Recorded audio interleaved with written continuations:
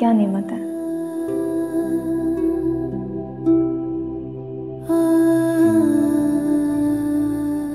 पैसा भी क्या शय है?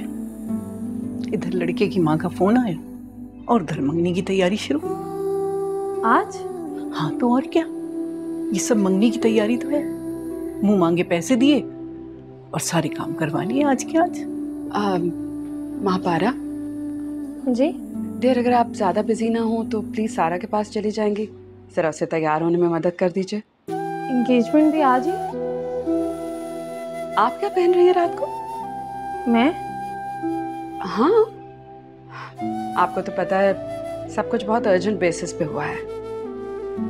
आई डोंट इवन नो कि इसके दोस्त या कज़न आ सकेंगे। मैं चाह रही थी कि आप ही इसे तैयार करके बाहर ले आती। लेकिन मैं बाहर कैसे लेके आ सकती नहीं तो घर वालों का काम है ना।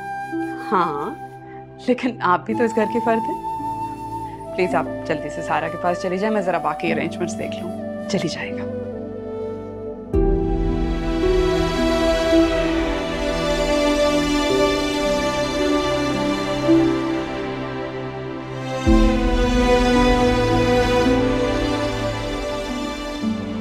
तुम परेशान क्यों हो रही हो? मैं सबको संभाल लूँगा ना। बिला वजह टेंशन मत लो, समझा दूँगा मैं सबको।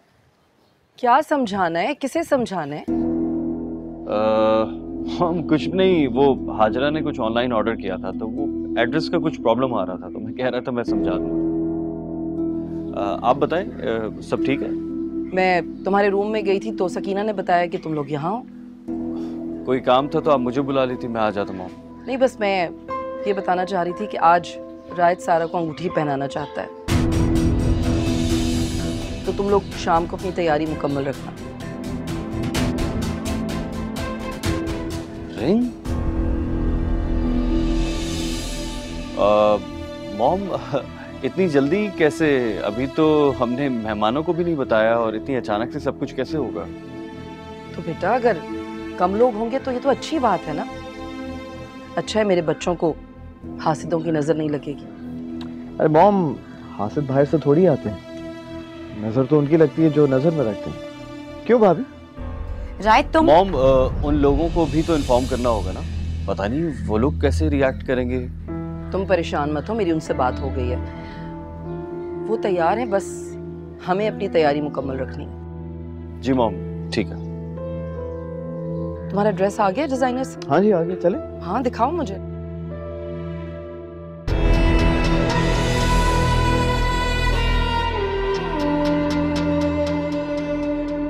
हाजरा रिलैक्स हो जाओ मैं संभाल लूँगा।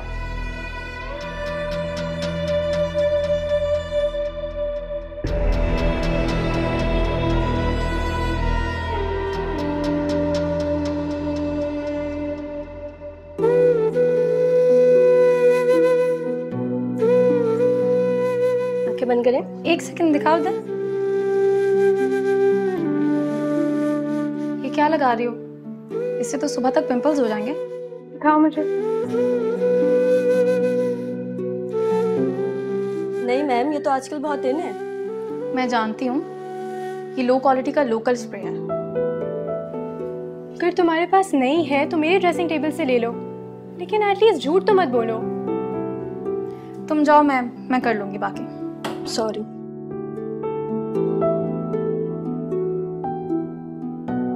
इयरिंग्स पहना दूँ?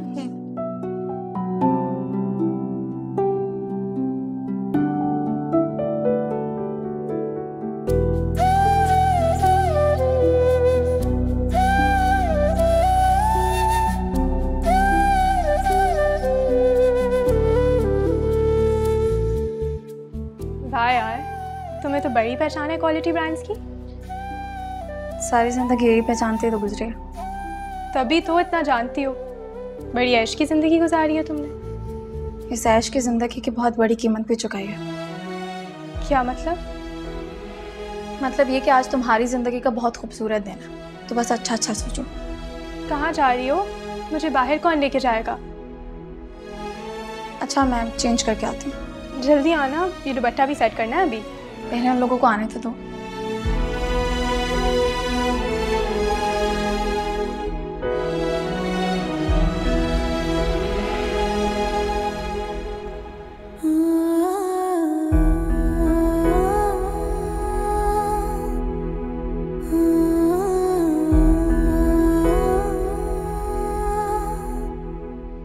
सारा तुम्हें दो दफ़ा बुला चुकी है। मैंने आपसे कहा तो था। कि उन्हें कह दें कि मेरे सर में दर्द है और मैं दवाई खा के सो गई तो ये तो गलत है ना बेटा। कितने प्यार से बुला कर गई थी मैडम। मैं अब प्यार के झांसे में नहीं आती दादी। ऐसा तो नहीं लगता। मुझे तो लगता है कि मैडम बदल गई है। मुझसे भी बहुत अच्छी तरह पेश आती सब मुनाफिकत है। पागल हो गई हो ऐसे नहीं कहते। तो क्या कहते हैं ऐसे लोगों को? मुझे लगता है वो तुम्हें घर का फ़र्ज़ समझने लगी है शायद। वो ऐसा ज़ाहिर करती हैं। लेकिन ज़रूरी नहीं कि दिल से भी ऐसा समझती हूँ। तो तुम तो नहीं समझती ना?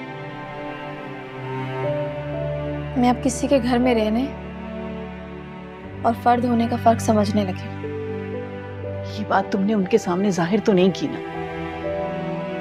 ये भी उन्हीं से सीखा है। क्या? जब दुश्मनी नुकसान देने लगी ना दादी तो दोस्ती का ड्रामा कर लेना चाहिए। तुम ऐसी तो नहीं थी बेटा। रिश्तों का खोखलापन इंसान की रूह को बेहस और सिफाक बना देता है।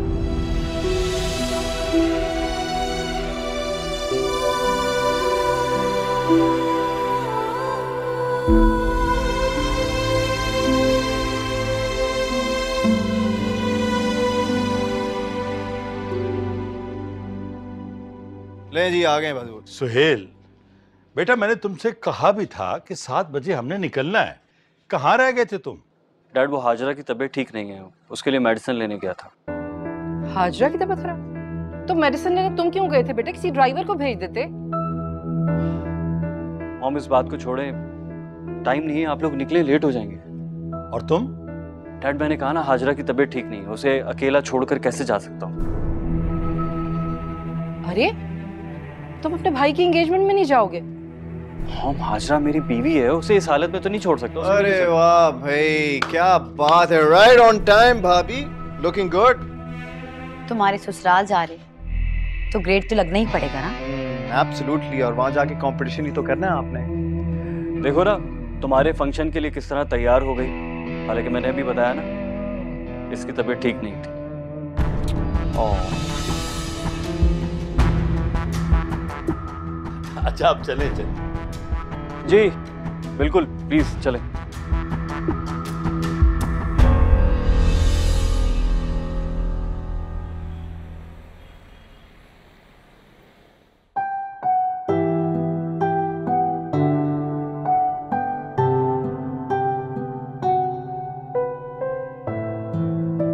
अगर तुम्हें आना ही था तो मुझे बता देती। तुम्हारी वजह से मैंने घर में सबसे तुम्हारी बीमारी का झूठ बोला। और तुम खुद तैयार होकर आ गई और मैं ऐसे। तो? तो ये कि अगर तुम्हें आना था तो मुझे भी बता देती। मुझे सबके सामने झूठा तो नहीं होना पड़ता।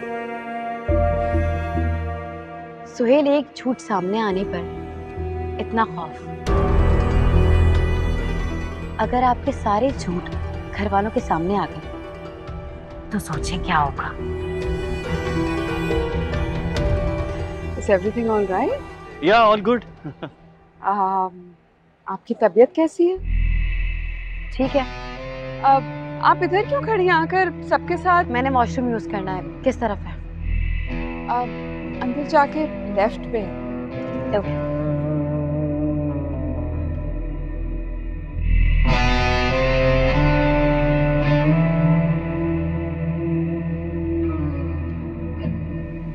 हाजरा कहाँ गई है? वो उसे वॉशरूम यूज़ करना था। बेटा इसके मूड को क्या हुआ है? इससे कहो कि इस तरह मुँह फुलाकर इधर उधर घूमने के बजाय हम सबके साथ बैठे बात करें अच्छा नहीं लग रहा। मॉम वो कोई हमारी मुलाजमा नहीं है जिसे आप हर बात पे डिक्टेट करेंगी। मेरी बीवी है। आप प्लीज़ उसे ज़्यादा फोर्स ना करें।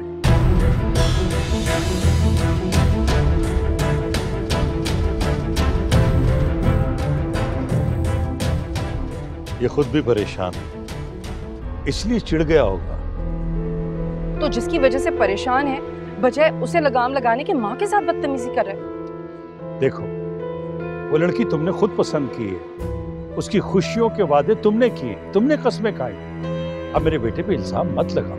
वैसे इल्ज़ाम नहीं दे रही लेकिन शैला ये वक्त और मौका इन बातों का नहीं है। सब बातें तुम घर जाकर कर लेना। और ये जो हाजरा ने यहाँ तमाशा लगाया है जब से आई है अलग अलग बैठी हुई है। और अब तो बिल्कुल गायब ही होगी अंदर पता नहीं कहाँ चली गई है। ये तो अच्छी बात है कि वो गायब हो गई। वो बहू है हमारे घर की फजल साहब। पहले तुम अपना बेटा तो संभालो। देखो दुल्हन छोड़कर कहाँ जा रहा है?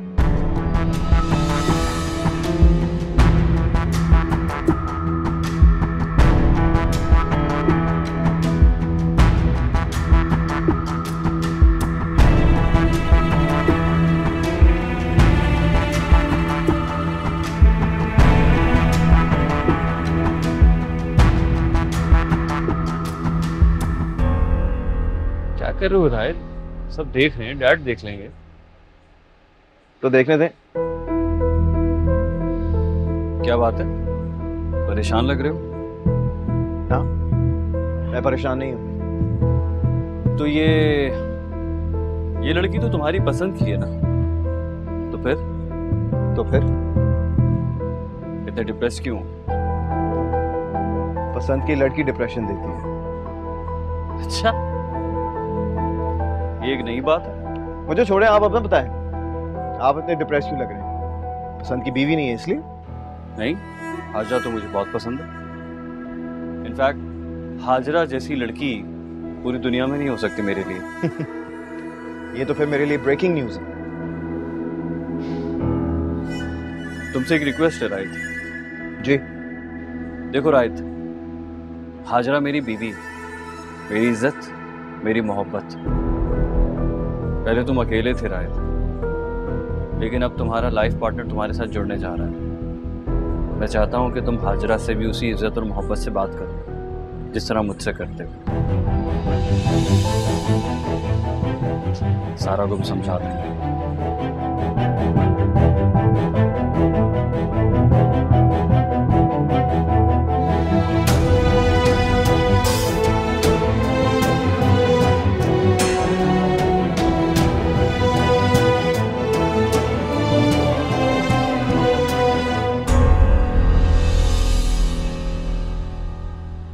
माशाल्लाह इतनी जल्दी में भी आपने इतना अच्छा अरेंजमेंट कर लिया।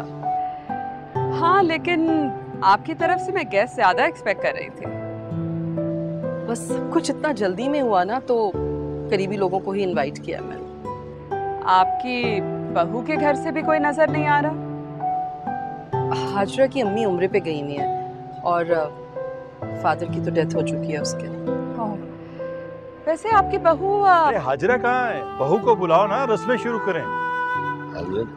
जी आ, मैं देखता हूँ। आप जरा मिठाई उठाई रखवाए। जी बिल्कुल।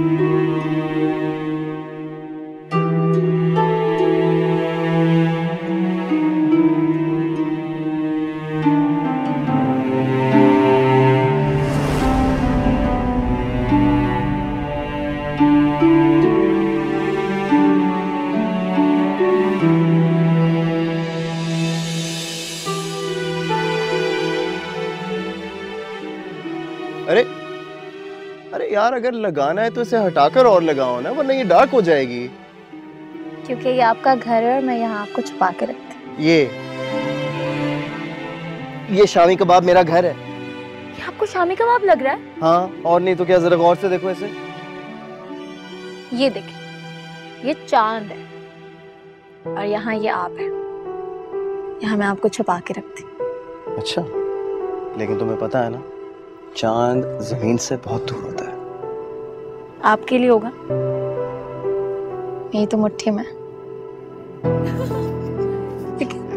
हाँ सही है सही है, ठीक है। लेकिन मुझे मेहंदी इतनी पसंद नहीं है। वैसे लोग जब अपने बालों में मेहंदी डालते हैं।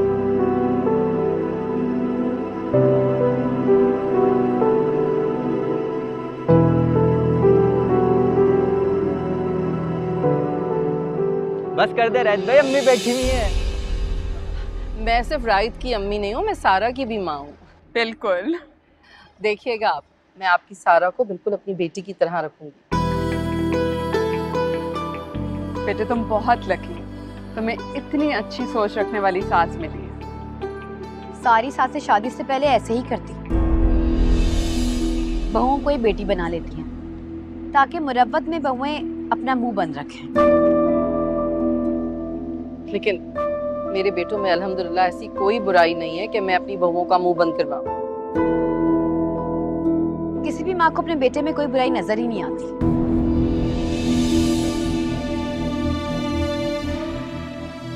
बेटे क्या बात है? कोई परेशानी है आपको? नहीं नहीं टेंशन मत लें। मैं तो बस यूँ ही कह रही थी। दरअसल बेटा कोई भी जुर्म करके आ जाए माँ को बेकसूरी लगता है।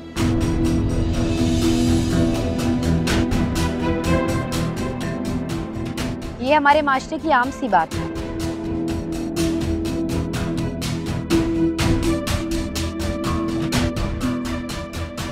एक्सक्यूज मी सोहेल को देख लो।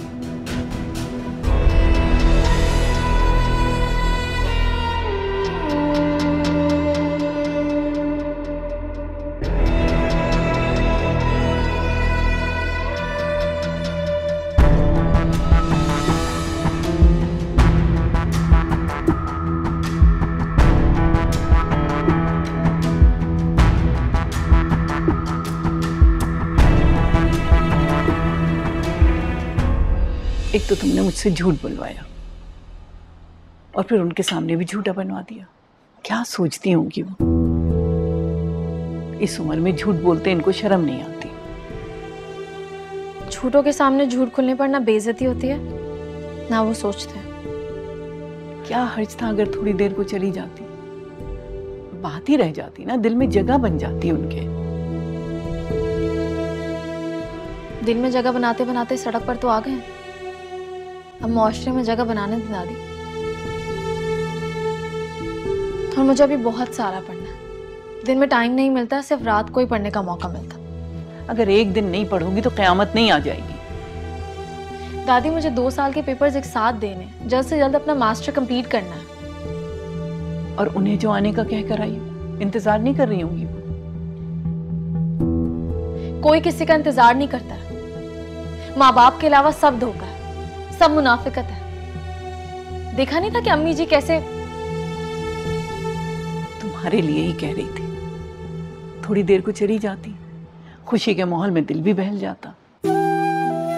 सोख के मौसम में सिर्फ़ मातम होता है। दिल नहीं बहलता।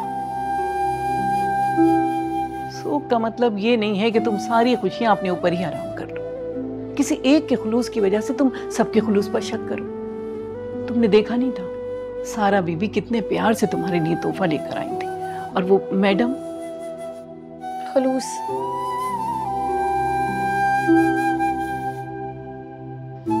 दादी मुझे पढ़ने दें। अच्छा खाना तो खाओ। बस खा लिया।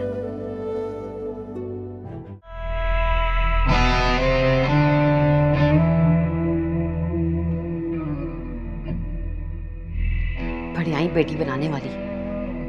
यही मीठी बातें मेरी मॉम से भी कही थी। लेकिन माँ पारा अगर किसी ने उसे देख लिया तो हमें फ़ौरन यहाँ से निकलना चाहिए। मॉम से बात करती हूँ। लेकिन वो भी क्या कर लेंगी? क्या करूँ? सारा की मॉम से बात करती हूँ। नहीं। उससे भी बात खराब हो जाएगी। मॉम कॉल नहीं लग रही। मैं देखता हूँ। सिर्फ़ आज तुम देख लो। बाद में हम में से कोई भी नहीं देखेगा। ये आप क्या कह रही है मॉम? अरे मेरे हीरे जैसे बेटों में ऐप गिनवाने निकली है। मॉम उसका ये मतलब नहीं था। आप रुके मैं देखता हूँ।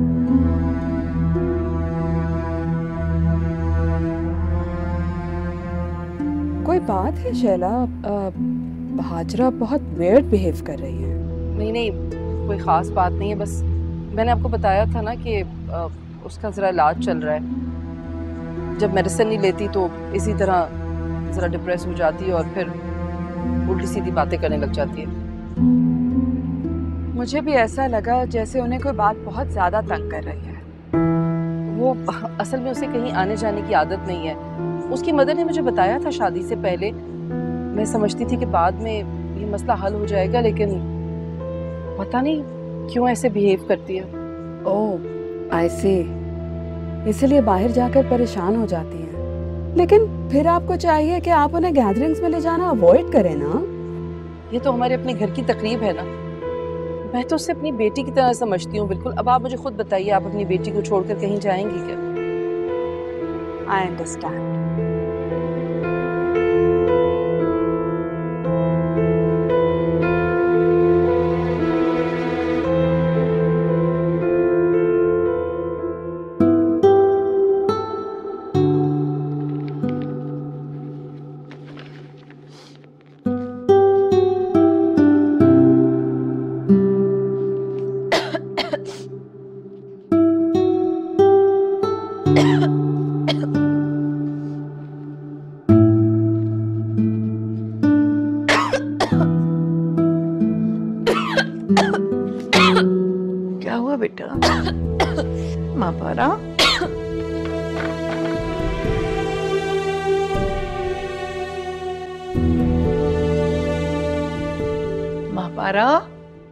से पूछती हूँ।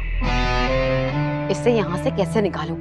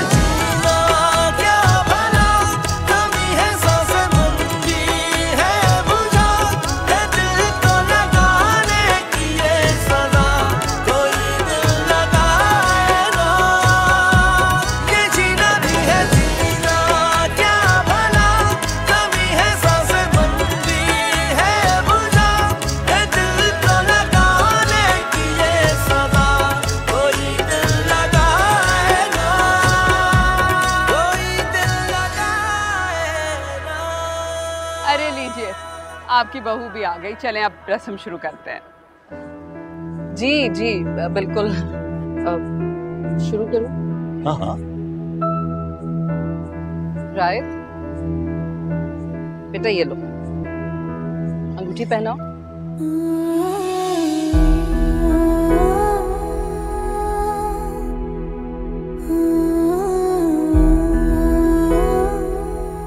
शैला। अरे राय तो बिल्कुल गुमसुम हो गया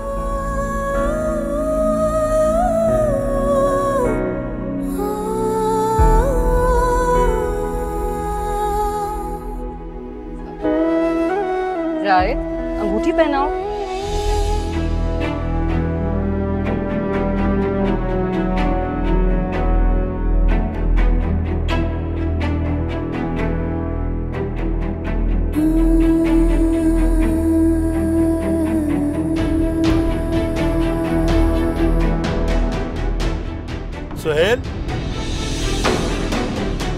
भाई के पास आओ ना। नहीं डैड आई एम फाइन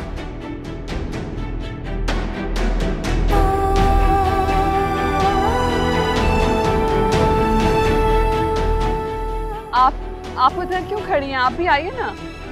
जाओ। सुहेल मेरी तबीयत खराब हो रही है घर चले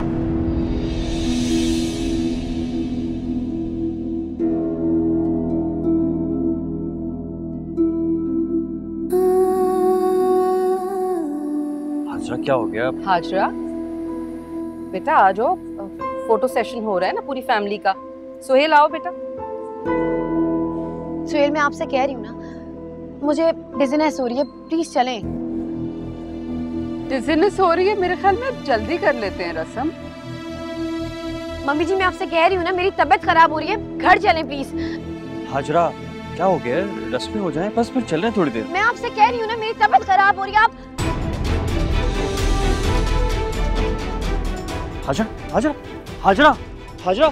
हाजरा। Mom mom. अरे देखो संभालो उससे क्या हुआ? मॉम। देखो।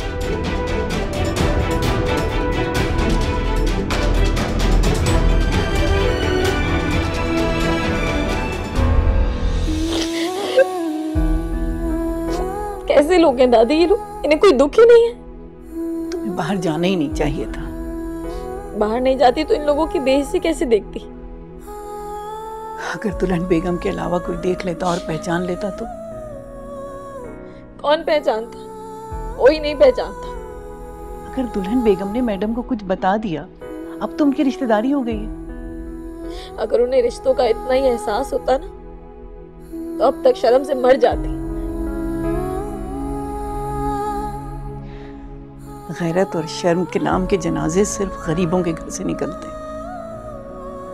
वो बाप का हो या बेटी का इन लोगों का कुछ नहीं जाता।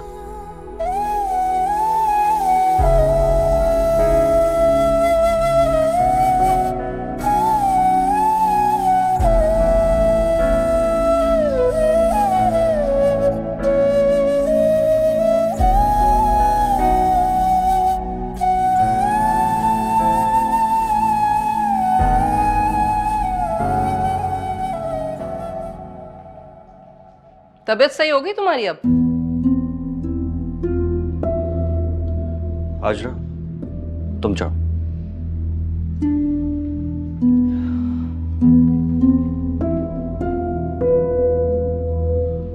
तुम्हें अंदाज़ा भी है कुछ? कितने शॉर्ट नोटिस पर उन लोगों ने सारा अरेंजमेंट किया था? तो आप लोग रुक जाते ना वहाँ? ताकि लोगों को लगता कि हम अपनी बहू का ख्याल नहीं रखते। हम लोग ऐसा क्यों समझेंगे? मैं हूँ ना अपनी बीवी का ख्याल रखने के लिए। सुहेल तुम्हें समझ नहीं आता? क्यों नहीं तुम्हें नज़र आता कि वो ड्रामा करती है सब कुछ रायत की खुशी बर्बाद करने के लिए? देखिए मोहम्मद मैंने आपको पहले भी बताया था उसकी तबीयत का। तो दिखाओ ना किसी डॉक्टर को जाकर पता तो चले आखिर कौन सी बीमारी है जो रायत के ससुराल जाते ही हो जाती है उसे? पता है मुझे कौन सी बीमारी है। मेरा मतलब है कि वीकनेस है रेस्ट करेगी तो ठीक हो जाएगी। आप भी जाके रेस्ट करें, काफ़ी रात हो गई है।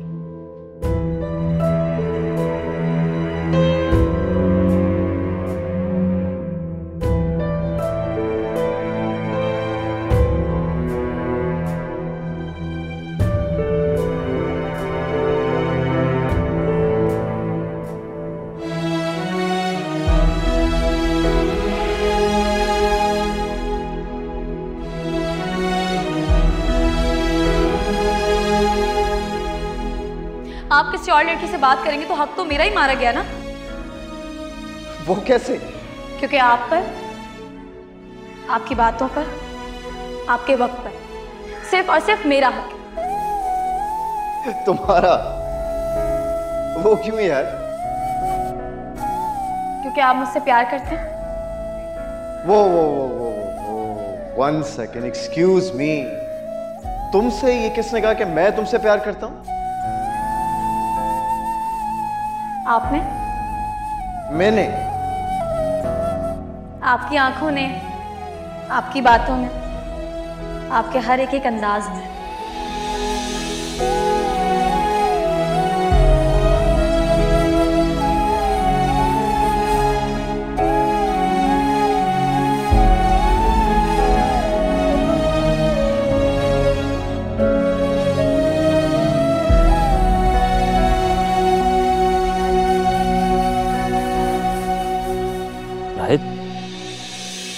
बैठे हो।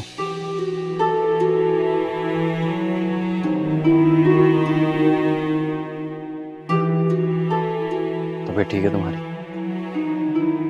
हाँ। ठीक है।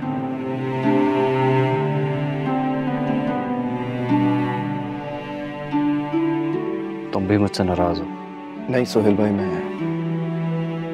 मैं किसी से नाराज़ नहीं।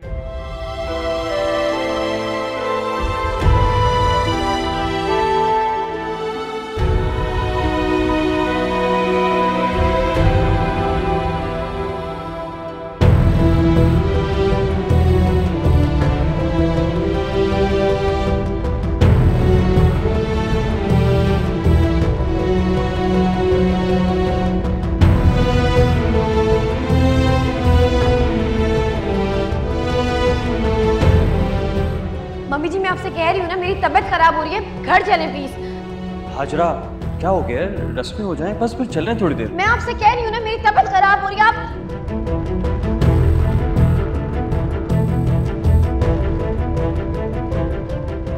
सुहेल तुम्हें समझ नहीं आता? क्यों नहीं तुम्हें नज़र आता कि वो ड्रामा करती है सब कुछ रायत की खुशी बर्बाद करने के लिए? देखिए मोहम्मद मैंने आपको पहले भी बताया था उसकी तबीयत का। तो दिखाओ ना किसी डॉक्टर को जाकर पता तो चले। आखिर कौन सी बीमारी है जो रायत के ससुराल जाते ही हो जाती है उसे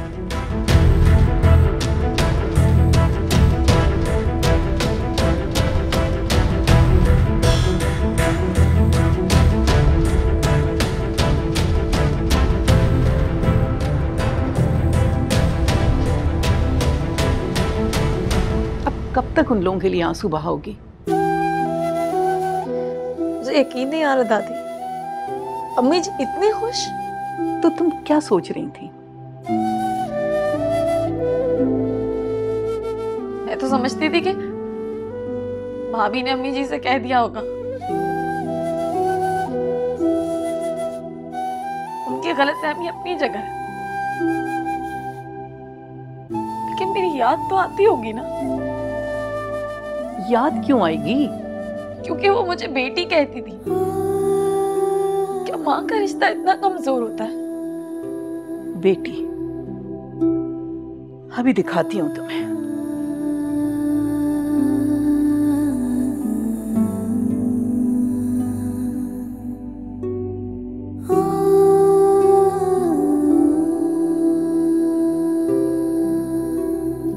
ये देखो। ये क्या है दादी? तुम खुद को जिनकी बेटी समझती थी ना, ये जहर उन्होंने तुम्हारे बाप के हाथ में दिया था।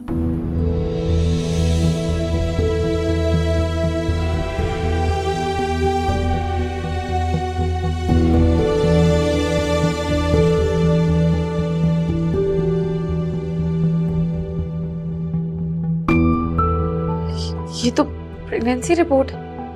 वो भी? मेरे नाम की? मैंने तुमसे कहा था ना कि तुम्हारे बाप ने तुम्हारे लिए खत दिया है। लेकिन ये तुम्हारे बाप ने कहा था कि जब माँ पारा कमज़ोर होने लगे तो उसको ये दे दीजिएगा। वो मज़बूत हो जाएगी।